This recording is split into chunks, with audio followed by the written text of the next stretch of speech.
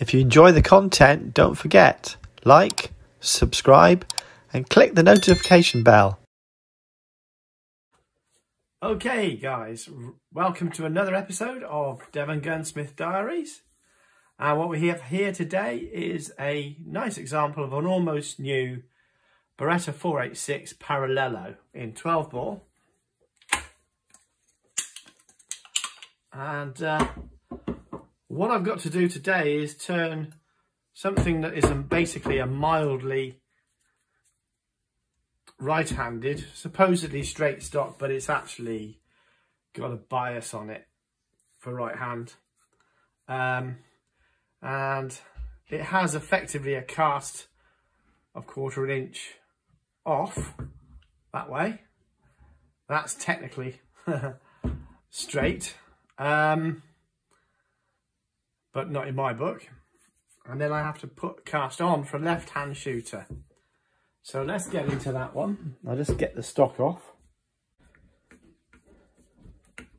It's just quicker doing it off camera. Apologise for that. Makes for boring YouTube TV, I understand that. But this takes, you know, a minute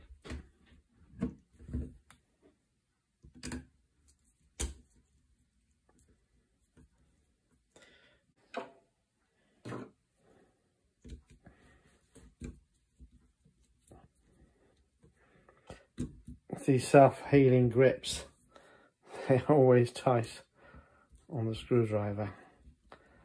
Gives your forearms like Popeye after a while. There we go. Nearly there.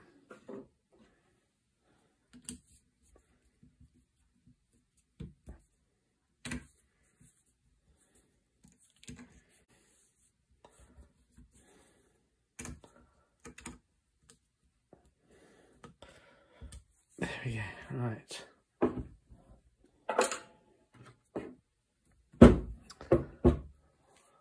One of the favourite pads that I like to install. The heads of the screws tend to grip on this narrow self-healing holes. Um, I fit a lot of these. This wasn't fitted by me, but one of my colleagues in another county. But nonetheless, they are still nice to fit. So we're going to get onto this. You will now see that is a bias for a, right-handed stock. So even though that it, this may be indeed sold as a straight stock, it has clearly got a bias with the bolt for right-handed cast. So creates a, a cast off on the stock. So we're going cast on this way to make it suit a left-hand shooter. And this has been done once before using hot lamps by another gunsmith in a different county. Not his fault, but it's relaxed back. And this is why we're going to have to use old school methods. Um, there'll be a video in the bottom to reflect where this came from. One of the great old gunsmiths, uh, masters of gunsmiths from Birmingham, the late great Jack Rowe. So we're going back to first principles, cotton rags and hot oil and a flaming good time we will have too. So I'll get it into the jig. You've seen it all before. And if you haven't watched the other videos I've done in the past, how to assemble the jig. Um, and we'll crack on. Okay, so the side-by-side Beretta, and obviously we've moved moved forward a bit now. We've got it's clamped in the jig correctly, only wood touching the wood and the action. The comb raiser is placed and clamped.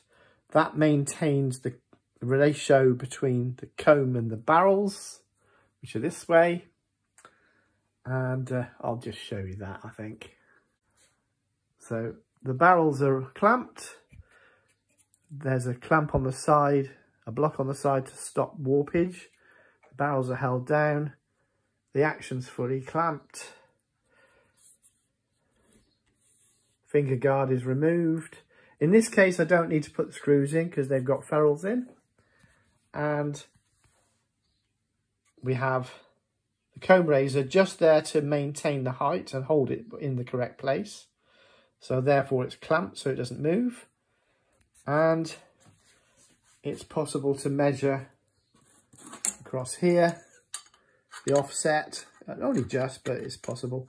Two inches to center here of my datum and it's two and a quarter inches cast off, which means I've got to move it that way to go left-handed, quarter inches from centre cast on, which is the left-handed. So it's actually lost, it's moved back a half inch in total through my colleagues employing the lamps.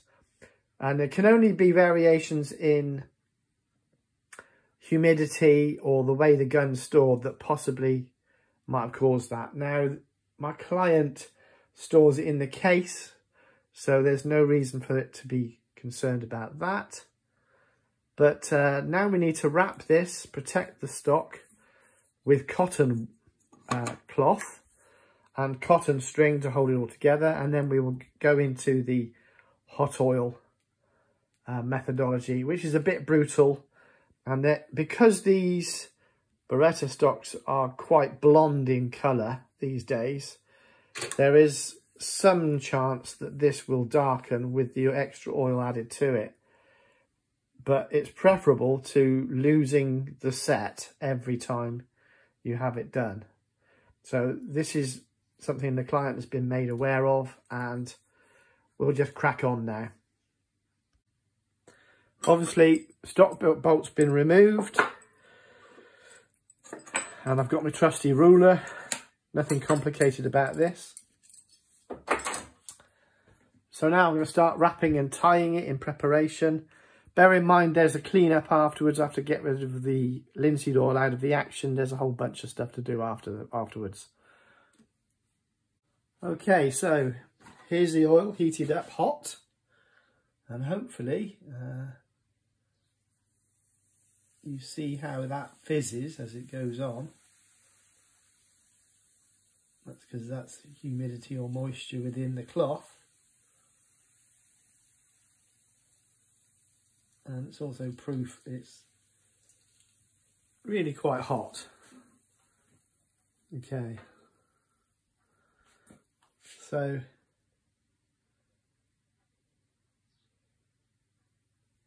if you're timid of heart, you can do it that way. Just add in hot oil.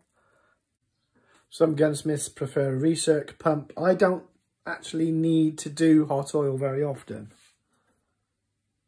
It's not relax it's relaxing a little bit, but it's not relaxing yet. you can see what the tray's for now. It gets hot, that's the problem.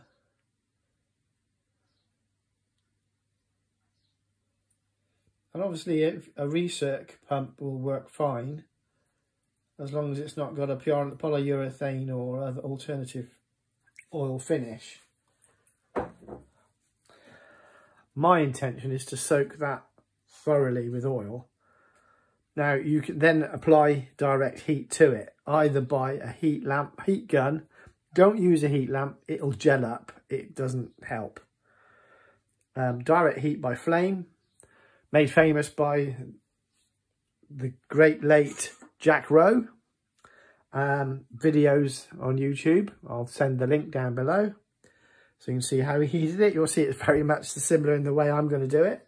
This is how I always used to do it until I encountered the uh, polyurethane finishes. And I had a couple of epic fails that meant I had to clean the whole of the stock at great expense to myself because I lost time. So that's when I started employing the heat lamp systems, which worked fine for 90% of guns. And as I mentioned before, this gun was uh, stock bent by a colleague of mine in a different county um, who only uses heat lamps and unfortunately it, it lost the set. So as to whether it wasn't in the clamp long enough in cooling period or what, I don't know. Back in the day, on the old English guns, you can actually get this to set within an hour, but it's not always possible. As you can see, this is not, it's not flopping enough. Oops, I'm knocking everything this is not still, this is still quite under tension. So we need to increase the heat. So I'm going to add a bit more oil just to be on the safe side. I'll have to drain the tray out.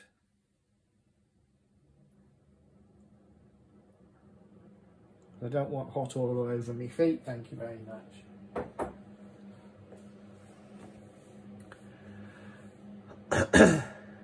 I have toyed with a build putting a a recirc pump on this and I think that probably if I was doing this method constantly I would use a heating element and a recirc recirc recirculation pump. Excuse me. Um, to do the oil, oil method. Some guys don't use the the rags. They just use the recirc pump. That works fine and there's nothing wrong with that. Indeed absolutely it's fine. Right but I'm going to just get rid of this hot oil that's in the tray and we're going to start flame out. Okay. Here we go.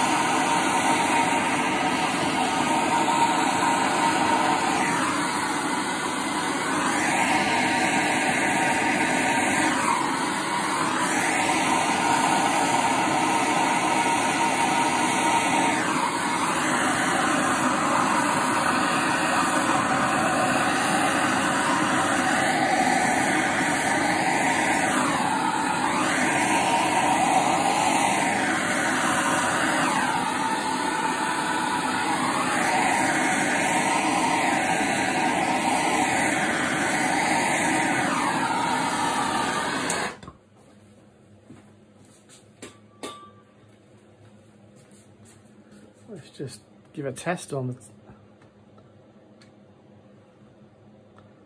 It's slackening, it's starting to slacken. It takes a lot of heat. Yeah, we need a bit more heat on that.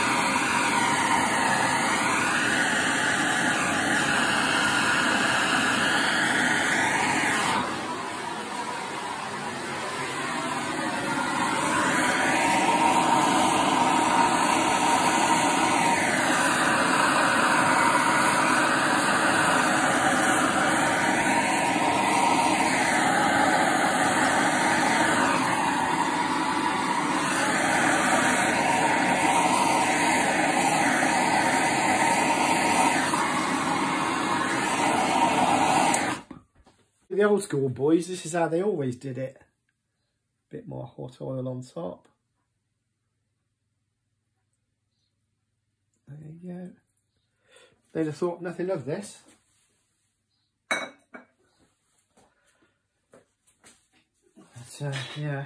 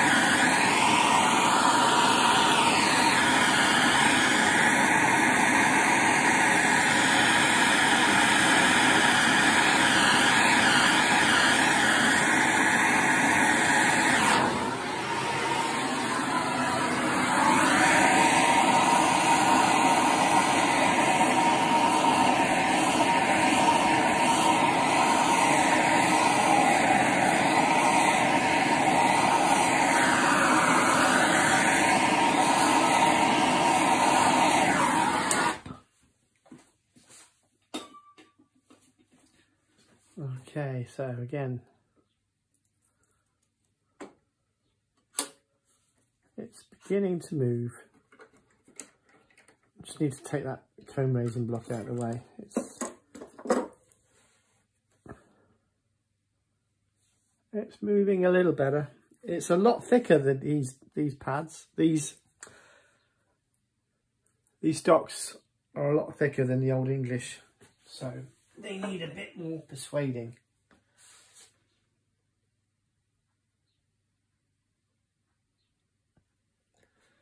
This is still really relatively hot oil.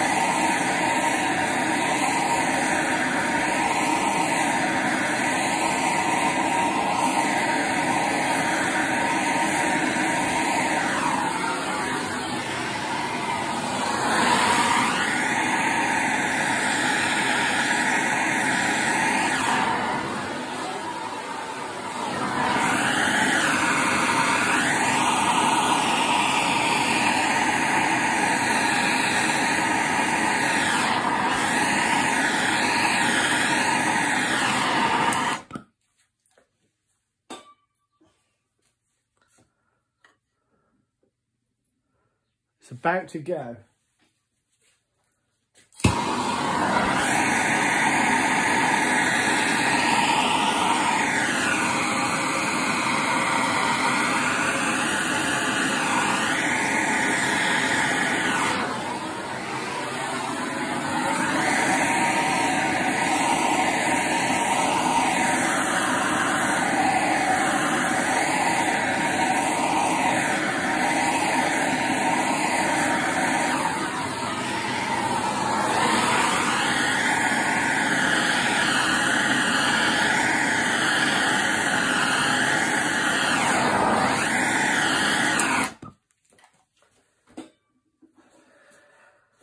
Don't have feely vision, but uh, I take this, I can actually feel that starting to get floppy now.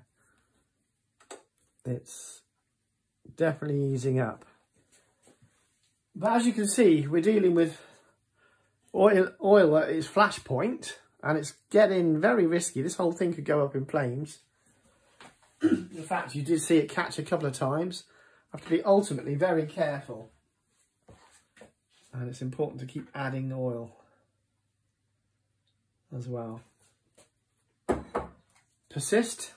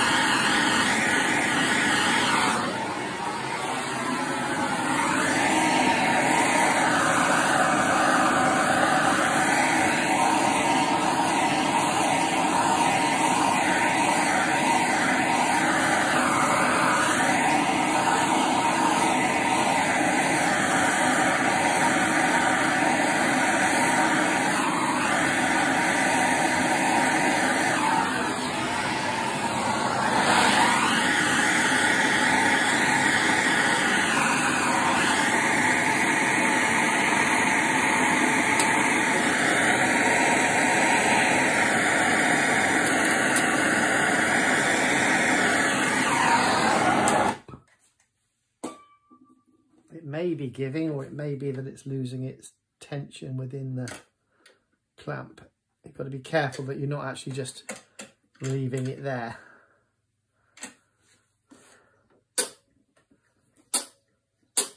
I think that's what's happening there. That becomes a bit of a problem. Because you're not getting an, an accurate situation. Yeah, it's squeak it's squeaking a bit. right, well, to have to apply the set anyway. There's no there's no going back from this at this point.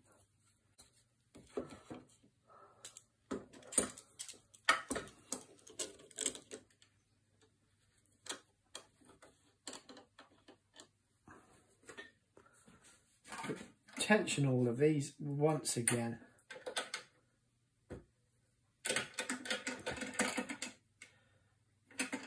Around all that hot oil.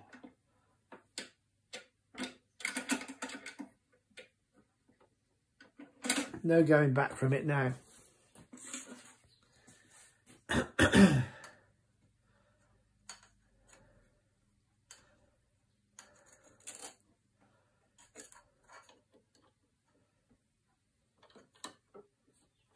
it's certainly moving very easily.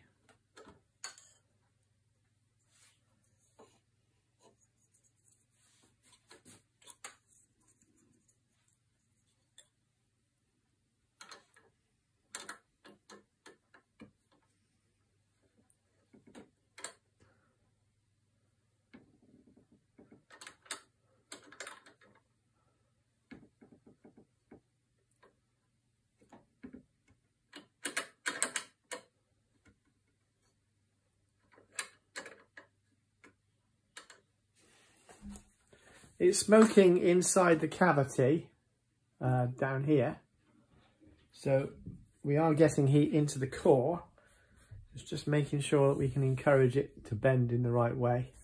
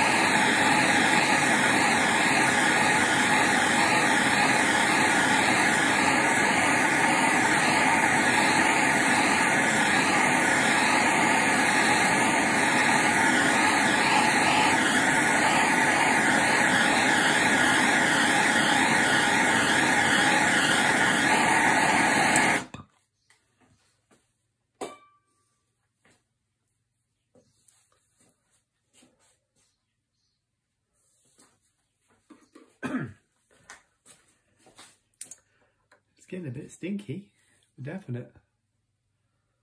Just measure that again. Sometimes you have to put more bend, more bend on than you perceive because the movement here has changed. God, it's making my eyes water a bit now. Right, we're going to leave that and uh, I'm going to cut this off. But first I'm going to drain off more of the all that the tray.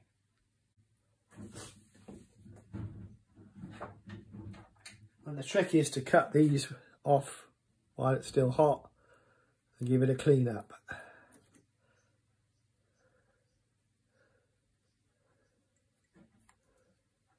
Can't find me proper scissors. I'll have to use these nail scissors.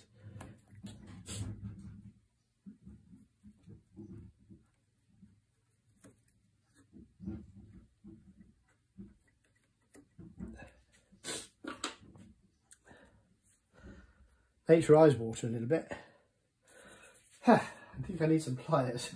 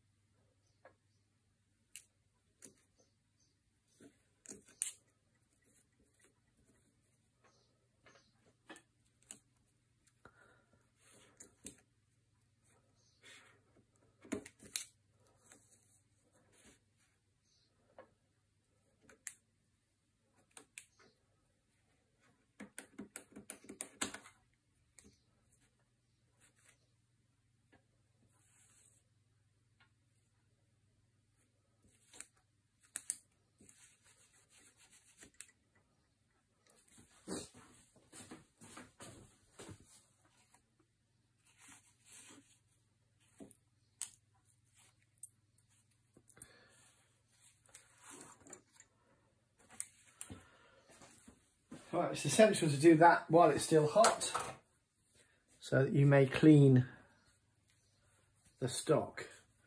Otherwise, all of that, oh, that is really hot. That's beautiful. All of that nourishing oil will gel up and create a nasty, sticky mess. Like when you've cricket bats when you were kids and you put too much on it, end up coming out sticky. Well, I did that anyway because I was one of those eager kids that had to do everything in a hurry and not coat it. Right, there is a slight coloration in the stock. It is to be expected, I'm afraid. Now, if a customer wants me to work that back up again, I can do that. Uh, sand it back, rechecker it, all that. But this is this is where it gets brutal he paid a lot of money to have it adjusted before by somebody else. So this is why we've had to take this more brutal approach because it just wasn't holding due to humidity or any a number of reasons.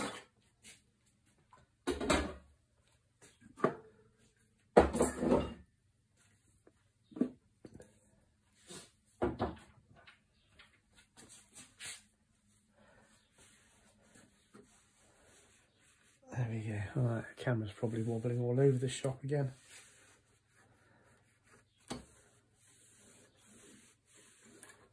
There's quite some degree of heat gone into that. The level of oil that's applied to these new gun stocks is nothing like what it was applied to in the old days. They were all this deep, thick colour before. In the old days, this was never an issue because they had plenty of oil on them. They put these um, combination finishes on nowadays which, uh, yeah, that's burnishing up nicely now. And that is super hot. I can barely, excuse me, can't leave my hand in one place any for any length of time. Just giving it a burnish so that uh, the oil can clean up um, and come up with a nice shine. The client is fully aware that there may be some slight discoloration to the stock as a risk. And uh, I don't actually do this very often now because most of the time my trusty heat lamps work. But this is, yeah, that's nice. It's still really hot. So that's it, guys. Uh, I'm going to leave it there for a minute and uh, we'll get back to the job afterwards. See you in a while. Okay, one thing final to do. Need to insert and screw back the stock bolt as the final setting is critical to place the stock bolt in its correct position with the right over back with the bend in place. It's in fact is the stock bolts that cause a lot of the problems with these adjustments. So as I screw in, there should be some squeaking here as the uh, stock settles back onto the action. We have to do this while it's still warm. It's taking its time. Right. It's cinching up now. So it appears to be back on the face. Uh, it certainly appears to be.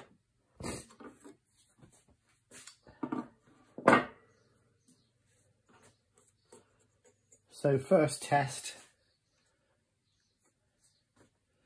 release this and see how much it relaxes back because they always do.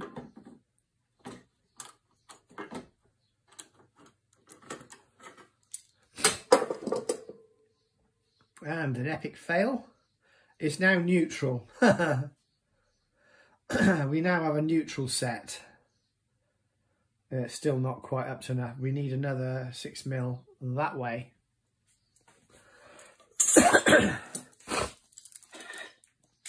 So while it's still warm, I need to clamp that back probably excessively.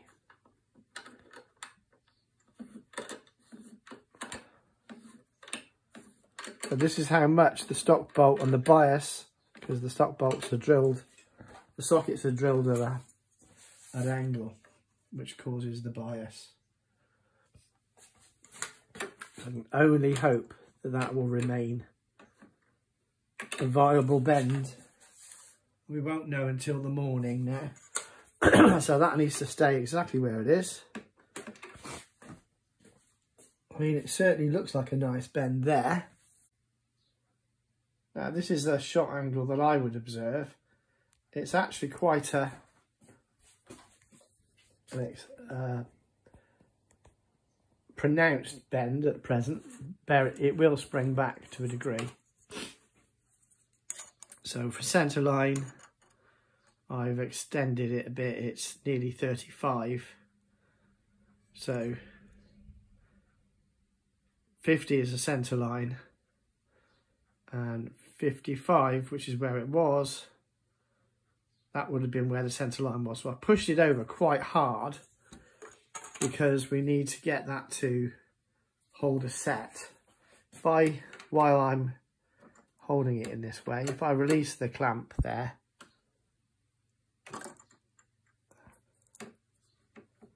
I release this clamp. One-handed work, it's never, a, never an answer. You can see that that relaxes a fair bit.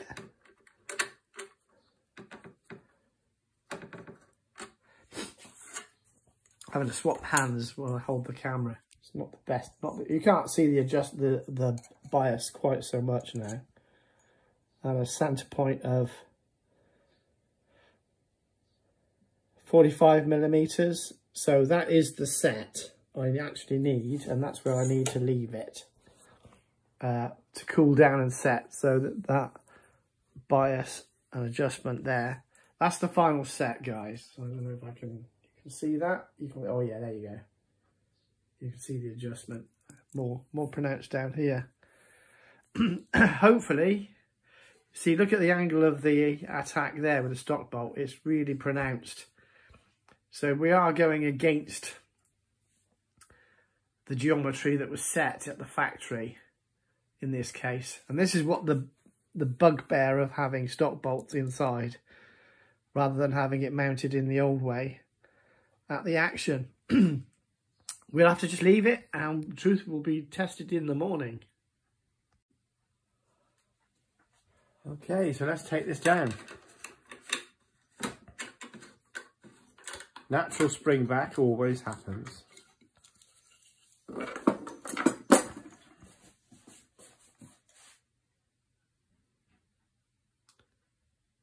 So it's quarter of an inch cast off now instead of cast on. So it's a full half inch movement there.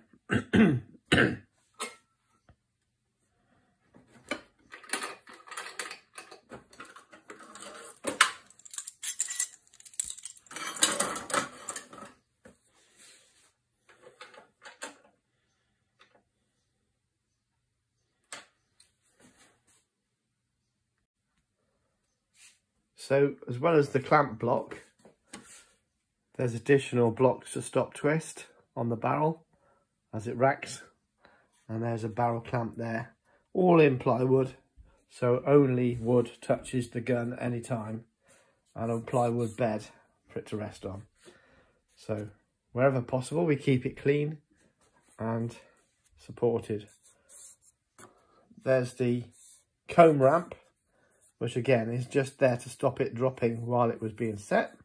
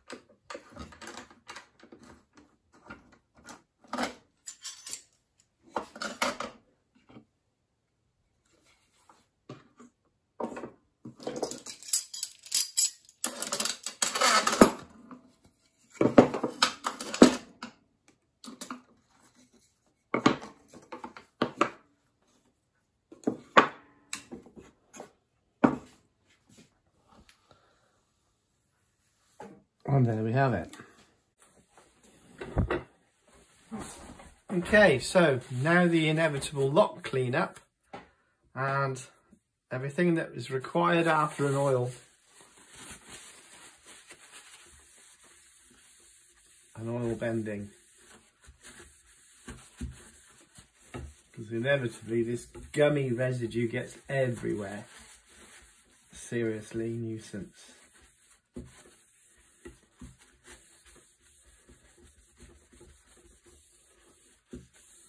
And the cleanup can sometimes take as long as the job.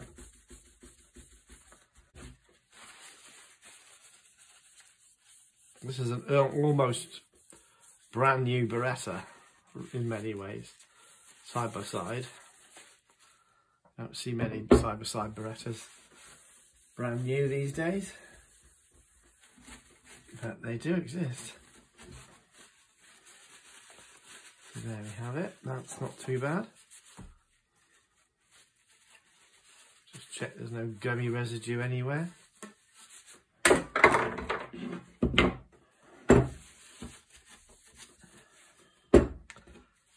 Obviously that didn't come to any harm.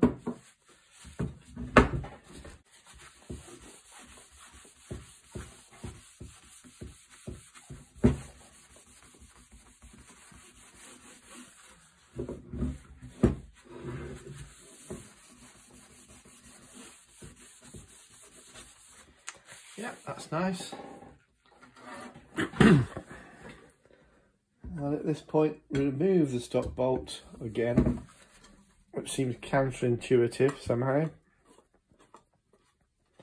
So that we can get the lock off and give it a darn good clean.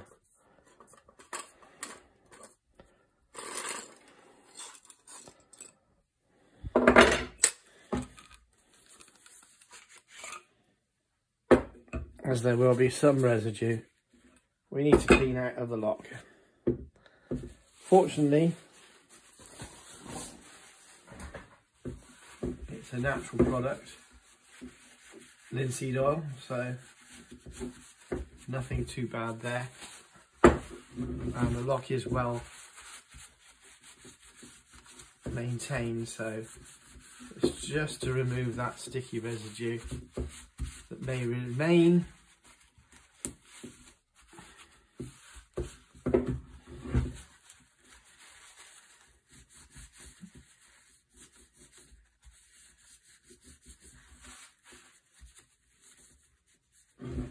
We'll need a tiny bit of meth or alcohol or Everclean if you're American. Everclear, I think it is.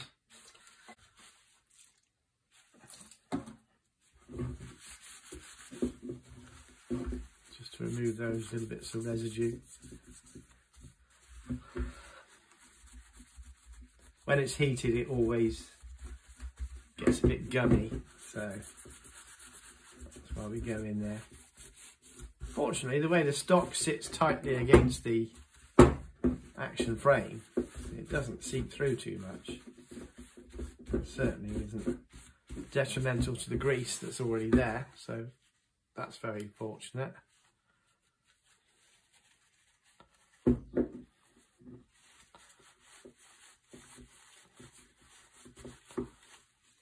we go. So with that, it's that simple. Just get the stock bolt out and all the washers. Just essentially make sure there's no residue left inside here.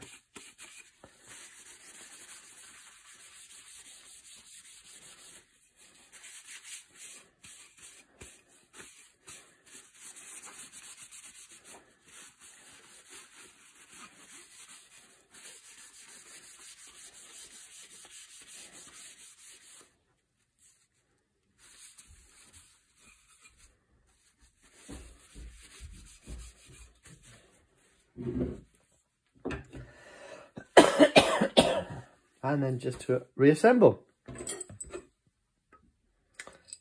Just to reiterate, see how much cast is automatically set by the way that the offset for the stock bolt has been set to, to create a right hand um, cast off. So we've actually bent it the other way to create cast on. That's why you have to use the, the more severe hot oil approach, which is not generally used by most gunsmiths these days. Just sighting that down there. Make sure we've got that. Yep.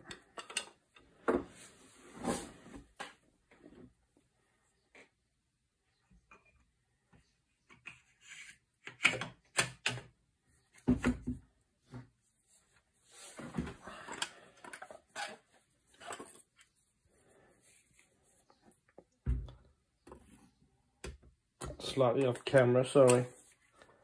Just to nip it, nip it back up again.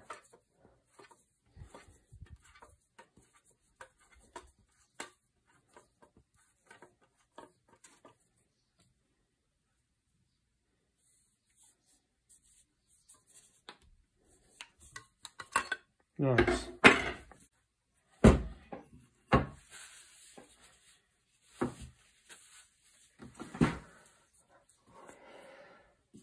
Not a not a product placement, but Kick-Eez, I use these all the time. Pleased to see my colleagues do as well. Probably one of the finest aftermarket butt pads that you can have, and certainly the most reliable.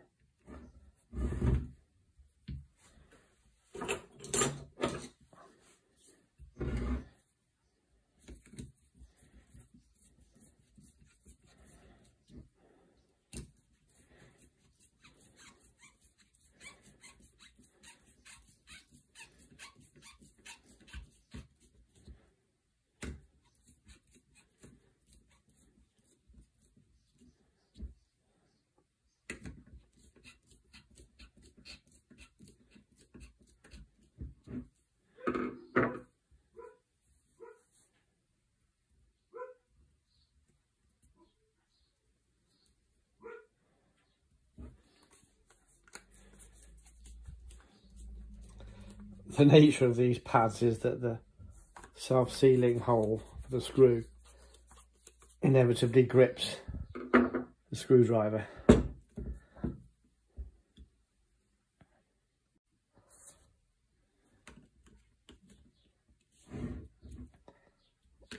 There we go, finally done. Lovely. So after the cleanup, I'm going to very briefly clamp it back in the jig in order to ascertain that with all that movement and and stuff we will uh, still have it set correctly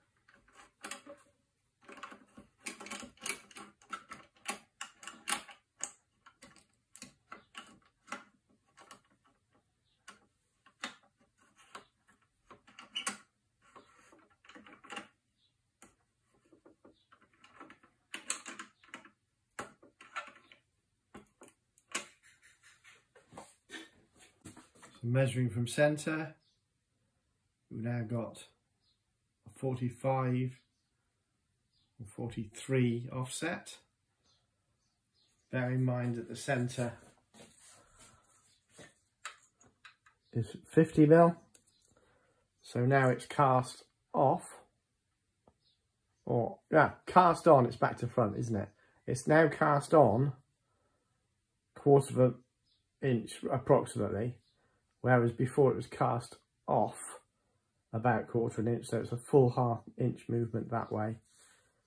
And hopefully that will remain the same and, and stay there. And um, that'll be good. I think that's it pretty much for it, guys.